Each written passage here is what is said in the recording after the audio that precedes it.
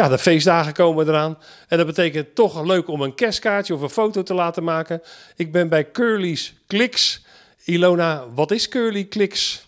Ja, Curly's Clicks is een uh, fotografiebedrijfje in uh, Schiedam-Noord. Uh, nou, een bedrijfje zeg maar bestaat eigenlijk uit één iemand. Dat ben ik. En um, ja, wat doe ik? Eigenlijk ben ik een grote familiefotograaf. Alles wat met kleine kinderen, oudere mensen, gezinnen te maken hebben, dat leg ik vast. Wat is de kunst om een mooie foto te maken en een leuke foto vooral? En te gekke fotograaf achter de camera. Wat doe je dan? Ja, ik ben eigenlijk uh, uh, altijd net zo gek als dat de kinderen hier zijn. En ik speel met ze mee, uh, spelende wijs daag ik ze uit. Ik laat ze helpen. En eigenlijk zo min mogelijk laat ik ze echt poseren voor de camera. Ja. Waaraan moet nou een leuke foto voldoen? Dat mensen allemaal zeggen, ja, dat is een leuke foto. Er moet iets gebeuren. Dus ik vind eigenlijk een foto dat uh, kinderen stilzitten en niet, niet iets doen. Niet iets doen, dat vind ik eigenlijk een beetje saai. Dus ze, ze moeten met iets bezig zijn. En het liefst iets natuurlijk um, wat bij de leeftijd past.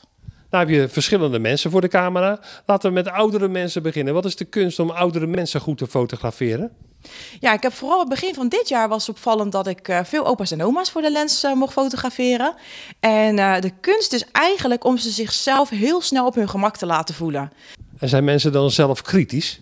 Ja, heel kritisch. Daar verbaas ik me nog wel eens over. Ja, want dan zit toch de lippenstift niet helemaal lekker. Of één oog wat al een klein beetje hangt.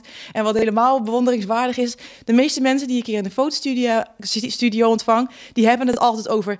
maar dat is niet mijn goede kant. Dus links of rechts, en vooral vrouwen zijn dat... die hebben vaak een, uh, een goede kant die ze gefotografeerd willen hebben. Een van jouw specialiteiten is moeders die in verwachting zijn... Lijkt me een emotioneel gebeuren. Ja, nou, ik moet eerlijk zeggen dat tijdens het moment dat ze zwanger zijn, is het nog niet echt heel emotioneel. Dat komt net iets later eigenlijk tijdens de newborn. Maar het is zo'n mooie periode eigenlijk in het leven van een vrouw en man.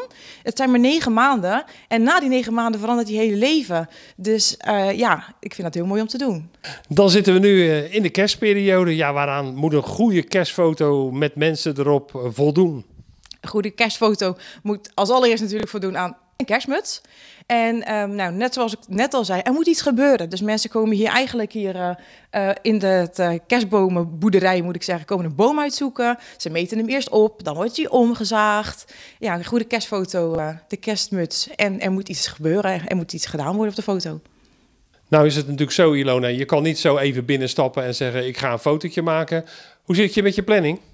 De mensen reserveren bij mij op mijn website www.curlysklicks.nl. Daar vullen ze het formulier in en uh, de foto's worden gemaakt op zondag 9 oktober en zaterdag 15 oktober.